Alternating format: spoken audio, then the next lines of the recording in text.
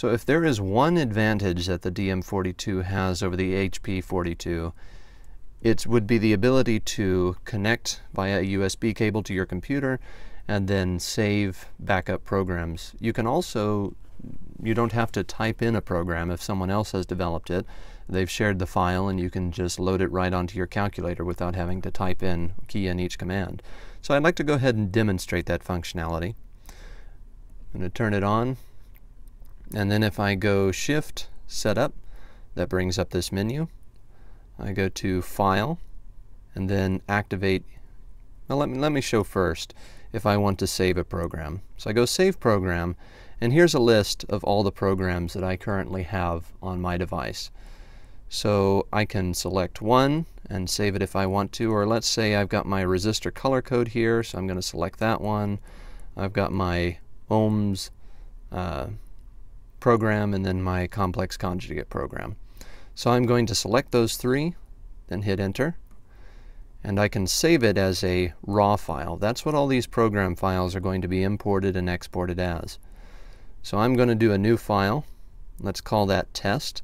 I can use the keyboard here, so I've got T, E, S, T. Now I'm going to hit enter, and I've saved that program. So now I can activate the USB disk and if we'll go over to the computer here you'll see on the computer that we have the um, the, the calculator is connected as a drive and if I click on that open it up you'll see the folders that are on the calculator and let's go into programs scroll down and there's my test program that I just exported. Now if someone wanted to import that they could drag and drop it into the folder on their calculator and then when they come back to their calculator, uh, let's go ahead and go back to the calculator. So back here, if I exit out of the calculator, hit exit, enter, exit out of USB mode, now I'm going to go to load program. So I didn't move the test, well, I guess it is here.